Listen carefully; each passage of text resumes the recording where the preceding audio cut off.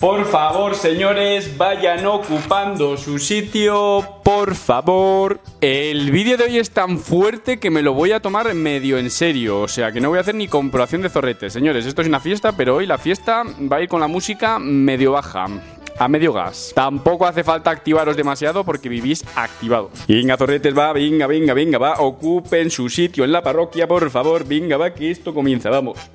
Y mira que he dicho que me lo iba a tomar en serio, pero es que lo de los zorretes lo tengo que hacer porque me encanta, me encanta cómo pasa a mí, que es algo que es, fascinante. Bueno, señores, comenzamos con esta aventura, las crónicas del Tito Pico. Ustedes saben perfectamente que a mí me gusta vivir un poco como en el precipicio, ¿no? Al borde del desfiladero. Ahora, zorretes, esto entre vosotros y yo, no me metáis presión, por favor, que llevo unas semanas que tengo la cabeza completamente inflamada. Iba por la vida todo loco. He acumulado una cantidad de polémicas en tan poco tiempo que a poco más se rompe esto. Por lo cual hago este vídeo y nos vamos a alejar un poquito de las polémicas. Nos vamos a tomar unas pequeñas vacaciones. Y te me calmas, sí, porque esto, esto explota. Hoy me voy a abrir a vosotros porque muchas personas se piensan que yo no soy un ser sintiente, que ni siento ni padezco, que soy un muerto en vida. Y es cierto, soy un muerto en vida, pero con sentimientos. Yo vivo en un eterno tira y afloja de personas que dicen que ahora soy muy flojo, que voy muy suave y en contrapartida otras personas que dicen que ha ajustado muy bien los niveles de maldad, que ahora soy más certero, táctico. Y el tipo empezó a ser un poco más estratégico. Inclusive, yo no digo que más débil o que no decir las cosas de frente. De hecho, ahora mismo es todavía más certero, podemos decir, en sus ataques. Como que hace más daño, digamos, cuando ataca cada vez. Como lo dijo Fitnico, no es más débil, es más certero.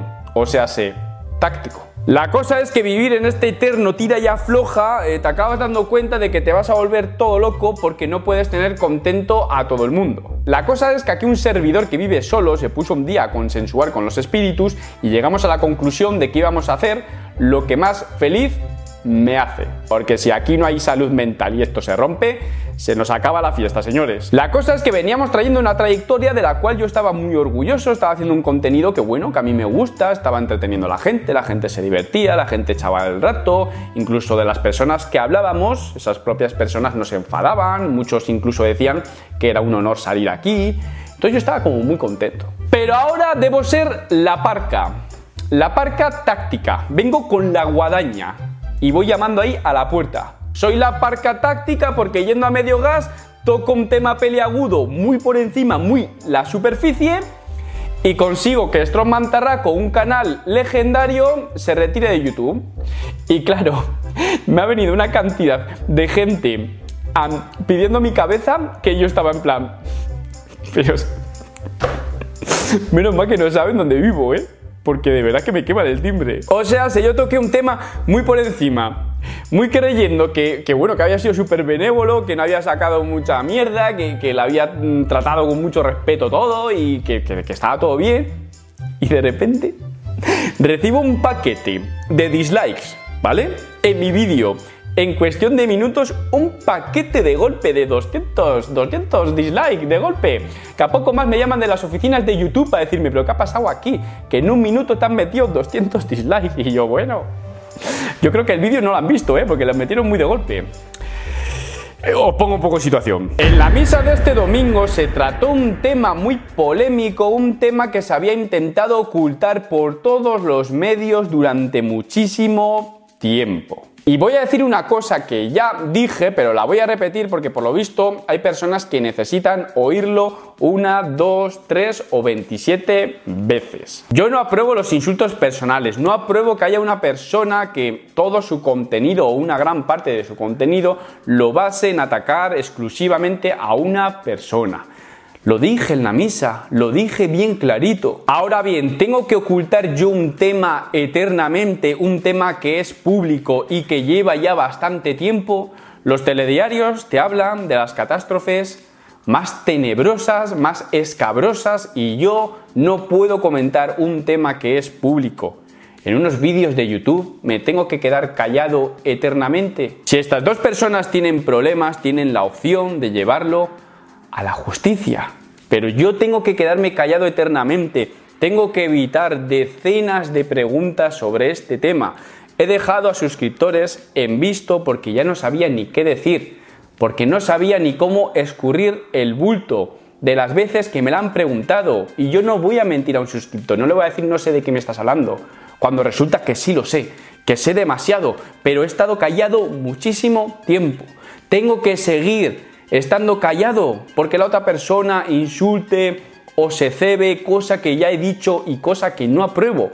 Tengo que quedarme callado, no puedo tratar ciertos temas porque son muy escabrosos. Señores, si esas dos personas tienen problemas muy serios, tienen la justicia para arreglarlo, pero yo no puedo comentar vídeos públicos de YouTube por eso. Yo soy responsable de lo que hago yo en mis vídeos, de lo que sale de aquí. Soy responsable de la propia educación que utilizo a la hora de afrontar un tema, pero más allá de eso, es un problema entre ellos. No se me puede responsabilizar a mí por hablar de un tema peliagudo sobre los hechos del propio tema. ¿Y por qué os digo esto? Porque justo en el último vídeo de Tarraco anuncia su retirada de YouTube en un vídeo que me menciona que es un vídeo respuesta hacia mi vídeo. Entonces, claro, la gente ha asociado que se va de YouTube por mi culpa. Y en las últimas 24 horas he sido el hombre más buscado. Mucha gente me señala como el culpable de su marcha y yo aquí quiero hacer un inciso. Vamos a ver, señores, como muchísimo, pero muchísimo, Podría responsabilizarme de ser la gota que colmó el vaso, pero el vaso no lo he llenado yo. Este vaso lleva muchos años llenándose sin ser mi responsabilidad. Vamos a calmarnos un poco. El problema del señor Tarraco, que es algo que he ido viendo con el tiempo, es que es una persona muy fuerte físicamente, pero muy frágil mentalmente. Y esto lo habéis podido comprobar vosotros. Es una persona que si tú le llevas la contraria en algo, tienes cualquier tipo de discrepancia con él, aunque seas educado, te bloquea. Todo el mundo sabe que Tarraco bloquea la mínima y no, no bloquea por insultos o faltas de respeto. Te puede bloquear simplemente por llevarle la contraria, por no pensar como él. Porque yo he bloqueado gente, pero el requisito que utilizo es que haya un insulto en el mensaje. Por mucho que me lleve la contraria, por mucho que exponga argumentos contrarios a los míos, si no me insulta yo no bloqueo. Ahora bien, por muy buenos argumentos que traiga, si me insulta, le bloqueo. Y sus argumentos al congelador. ¿Por qué? Porque ha insultado. Pero lo del señor Tarraco no, es muy frágil. Es como lo que dicen ahora las feministas, ¿no? De masculinidad frágil. Es algo así. Le llevas la contraria con educación, piensas que aquí no tiene la razón y te bloquea. En resumidas cuentas, tiene una tolerancia muy baja a la discrepancia. Y yo creo que es porque se ha creado un alter ego que ha devorado completamente a su persona. Señores, lo pienso de verdad. Este señor durante su trayectoria ha creado un monstruo, un alter ego, una persona que está acostumbrada a que le bailen el agua, a que le digan que es el mejor, que sí, que todo bien, que todo cual, que... Y realmente ha devorado a su auténtica esencia, porque la tolerancia a la discrepancia es excesivamente baja, seas respetuoso o no.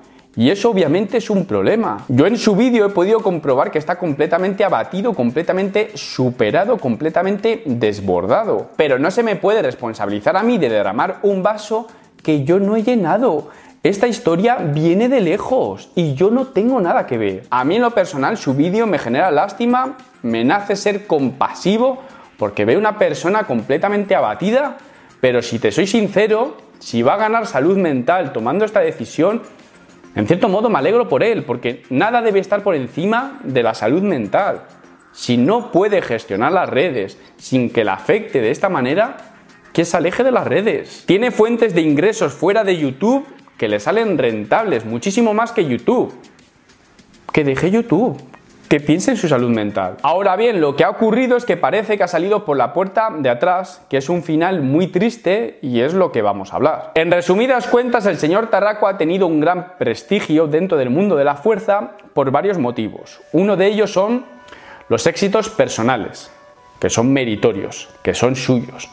Y el otro motivo vendría a ser el marketing. Digamos que ser el más mediático dentro de un mundillo te da la ventaja de forjar un poco la historia como a ti te interesa, ¿no?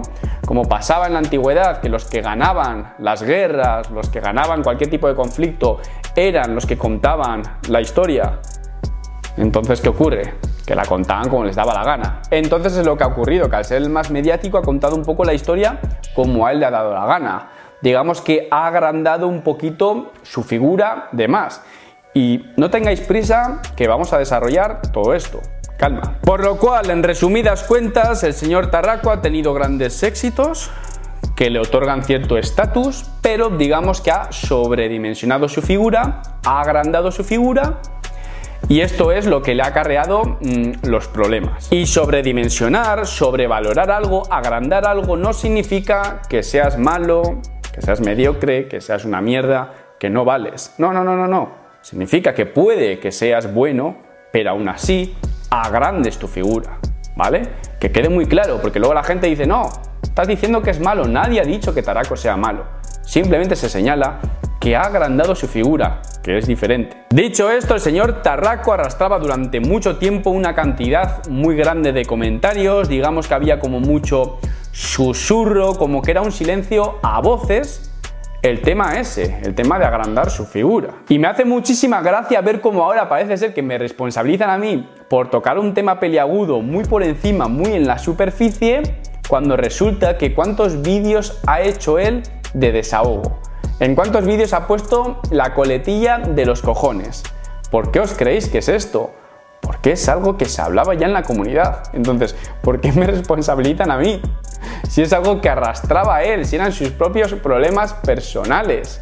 Pero me responsabilizan a mí. Después de cuántos vídeos con la palabra desahogo. Acuérdate, la mayoría de esos vídeos de desahogo arrastraban pues estos rumores que digamos que estaban rodeando a su figura.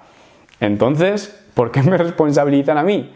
¿Hay que buscar una cabeza de turco o qué? Porque era algo que ya se estaba hablando muchísimo en la comunidad, muchas personas lo saben, lo que pasa que interesa llevarse bien, interesa ser políticamente correcto, entonces jamás lo van a decir, jamás de los jamases, aunque después, en privado, te lo puedan decir a ti. Y tú puedes comprobar de que piensan igual que tú, pero de cara a la galería nadie lo va a decir. Y lo que ha ocurrido es que si tú eres un exagerado en la calle, si te tiras triples, y cuentas cosas que no son correctas del todo, si lo adornas a tu conveniencia, si tú eso lo haces en la calle, digamos que no queda guardado en ningún sitio. Pero si lo haces en YouTube, en decenas de vídeos, con el paso del tiempo eso te puede pegar en la cara. Y es que es lo que ha ocurrido. Entonces ahora Tarraco cree que se le infravalora, que se le hace de menos, pero en realidad la gente le está poniendo en su sitio. Quiero decir, si esto es lo que mereces por tus éxitos y tú has hablado tanto que la gente cree que eres esto, cuando la gente te reduzca esto, no te está infravalorando, te está llevando a tu sitio. ¿Vale? Otra cosa es que te baje de aquí. Esto es infravalorar, porque esto es lo que tú te mereces. Pero si tú has hecho creer que eres esto y te llevan aquí, no te están infravalorando, no te están quitando méritos, te están dando lo que te pertenece. Y es que eso es lo que ha ocurrido. Bien, una vez explicado esto, vamos a hablar un poco del vídeo que me ha hecho a mí, que más o menos es como un vídeo respuesta. Un vídeo que, para mi opinión, mm, más que una defensa, es como una forma de delatarse. Yo viendo el vídeo, espero que algún día este señor recupere la capacidad de ser autocrítico y se dé cuenta de que está defendiendo lo indefendible, está actuando como un niño que le han pillado robando galletas y empieza a poner excusas pues digamos que un poco estúpidas. Me gustaría que en un futuro cogiera perspectiva autocrítica y viera las veces que le he mencionado lo que he dicho y que de verdad se diera cuenta de que no ha sido para tanto, han sido cosas bastante realistas y que fuera capaz de ser autocrítico. Lo digo de corazón. Porque sale en un vídeo con un trofeo, un cuadro, comentarios desactivados porque no aguanta ni un comentario más o porque no quiere que se digan ciertas cosas. No lo sé, pero realmente demuestra estar bastante abatido. Para mí el vídeo más que defenderse lo único que hace es confirmar que tengo razón, lo vamos a ver ahora, no os preocupéis, pero para mí es una defensa muy endeble, una defensa que, que más bien le delata. Recabando información con fuentes fiables dentro de ese mundillo, en resumidas cuentas, este señor quedó segundo en la segunda división de la Liga Nacional de Fuerza. Segunda división, segundo. Segundo de la segunda división de la Liga Nacional de Fuerza. Una liga que es el clasificatorio para poder participar en la liga que dijo haber ganado. En 2010 se hicieron dos ligas, pues él quedó segundo en la segunda división. Este tipo de cosas durante su trayectoria, sin que nadie le corrija, sin que nadie se atreva a hablar porque era una vaca sagrada, es lo que ha creado una figura sobredimensionada. Una figura que si ahora tú intentas ponerla en su sitio o intentas corregir ciertas cosas que dijo mal, se lo toma como un ataque, como que lo estás infravalorando, como que es una crítica destructiva y es como no, te están poniendo en tu sitio. Y es que encima su sitio es bueno, su sitio es bien, por méritos propios su sitio es bueno. Pero este señor quería más. Y es lo que ha ocurrido. Y esta va a ser la última vez que hable del tema porque no es de recibo recibir insultos cuando estás enseñando datos de un historial y datos que son objetivos. No es de recibo recibir insultos personales cuando estás mostrando algo que es cierto y que se puede comprobar. Vale chicos, volvemos a la página que os enseñé en la misa, ¿vale? La página de la discordia, madre mía. Si nos vamos a, mm, creo que era competiciones, ¿vale? 2010.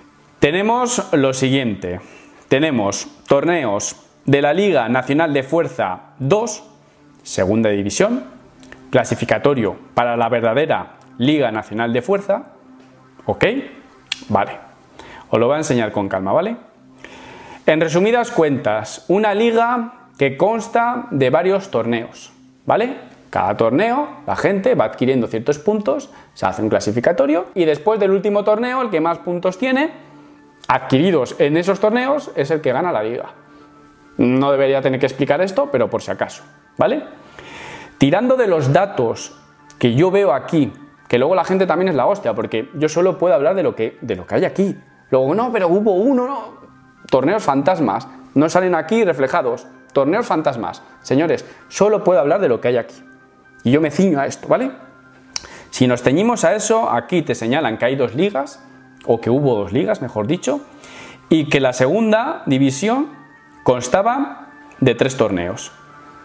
El que más puntos adquiriese después de estos tres torneos era el ganador de la liga de segunda división, podríamos decir, que es el clasificatorio para la primera, ¿vale? Bueno, lo voy a enseñar todo porque luego la gente dice lo que dice.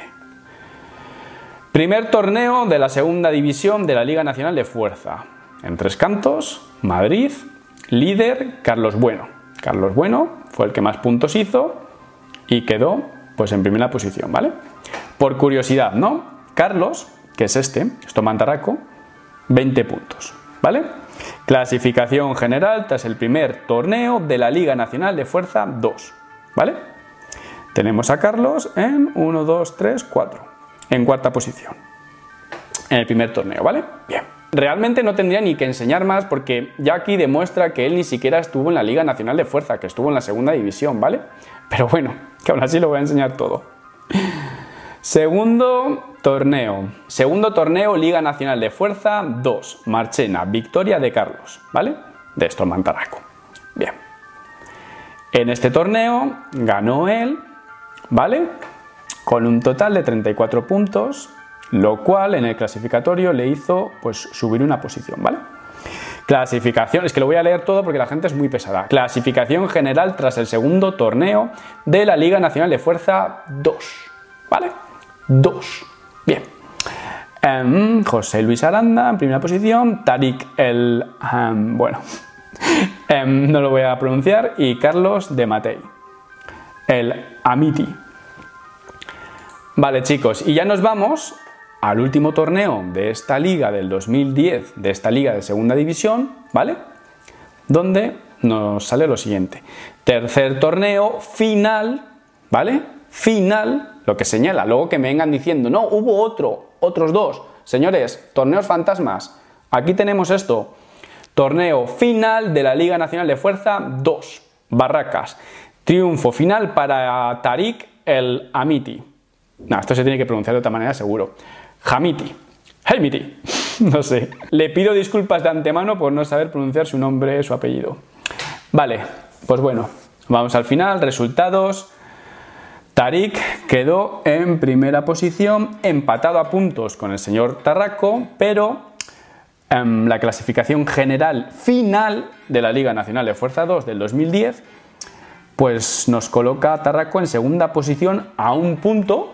Muy bien, buena participación.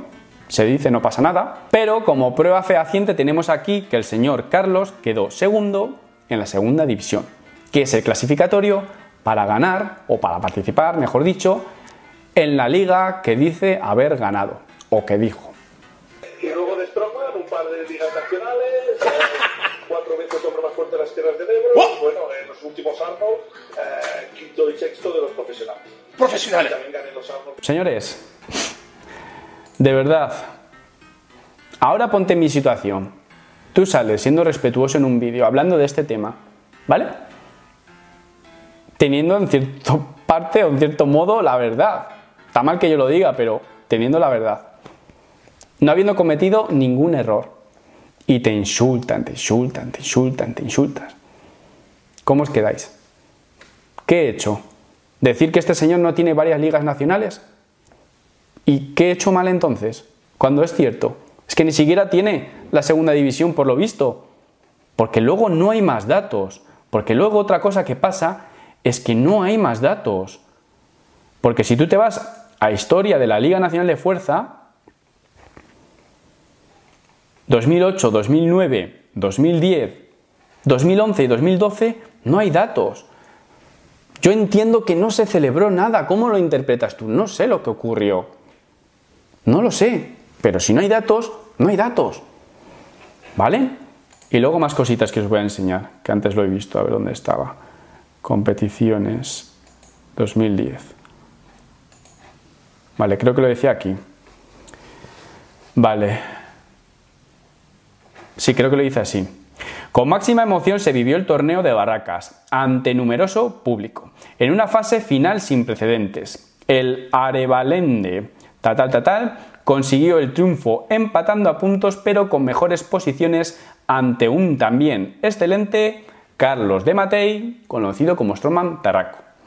Tarik, el jode con el apellido, consiguió la clasificación automática para la Liga Nacional de Fuerza 2011, que desconozco si se celebró, pero ganando esta liga consiguió la clasificación automática, con un solo punto de ventaja sobre Carlos de Matei, ¿vale?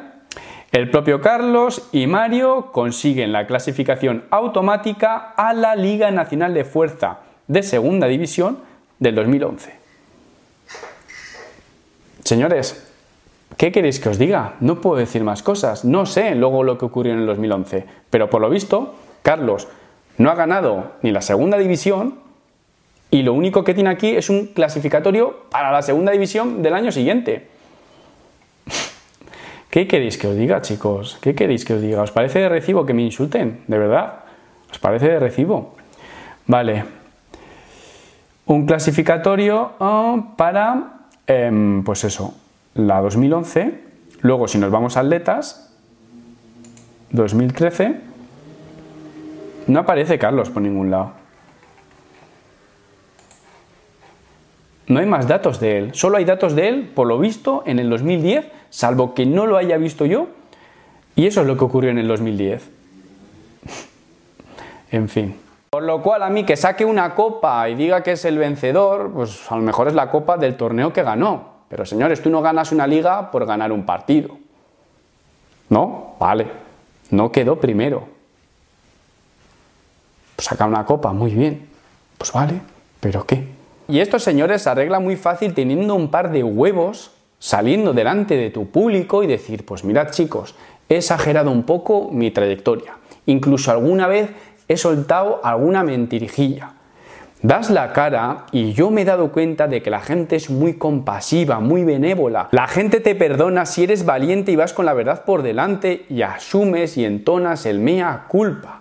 Pero lo que no puedes hacer es algo que se puede contrastar, hacer como un niño pequeño que le han pillado robando galletas y empieza a meter ahí unas trolas del copón. Que es que es lo que he sentido yo viendo su vídeo. Me saca una copa, una copa que puede ser de uno de los torneos de la segunda división, una segunda división que no ganó. Por favor, asume las cosas, quedas muchísimo mejor. Y para mí ver esto de una persona que la considero muy inteligente, la considero culta, porque de verdad lo pienso, pero es que lo que pienso es que ha creado un alter ego que se ha devorado por completo a Carlos, porque de verdad, su defensa me ha parecido surrealista. Y es que lo habéis podido ver. Ahí tenéis todo. Yo no puedo manipular estas cosas. No soy hacker, no entro a la página a modificar los datos. Señores, esto es lo que hay. Que la gente se lo tome como le dé la gana. Dicho esto, os pido por favor que quede aquí en familia. Vamos a intentar crear una comunidad que se queda dentro de nuestros dominios. No vayáis a su perfil a poner la cabeza así. Él es mayorcito, que hable consigo mismo, que hable con la almohada, que medite. Para mí lo mejor es dar la cara y asumir cierta parte de culpa en toda esa figura sobredimensionada que se ha creado. Quedas como un caballero es mi opinión, pero él es mayorcito, que haga lo que considere. Pero vosotros, por favor, os quedáis aquí en nuestros dominios y vamos a intentar eso, ¿vale? Vamos a intentar ser una comunidad que se queda aquí, en nuestra misa, en nuestra parroquia y sobre todo no inflamar la cabeza a la gente por ahí. También diré muchísimas gracias a todo Zorrete que no se ha precipitado sacando conclusiones rápidas y se ha esperado a este vídeo y no me ha inflamado la cabeza diciéndome que si me han follado, que si me han callado la boca, que si, bueno, lo que se suele decir, que obviamente pues lo recibes. Bueno chicos, me piro, vídeo más serio, vídeo que he hablado casi como bajito, ¿no? Como si estuviera aquí susurrando, espero que os haya gustado, respeto máximo, por favor, vamos a ser una comunidad envidiable. Y nada chicos, antes de iros, si no habéis visto este vídeo, os lo recomiendo. Y si queréis pertenecer al Calvo Team, el equipo de los malvados, pinchad aquí. Bueno chicos, como siempre os digo, un saludo, un abrazo, ya está. Luego...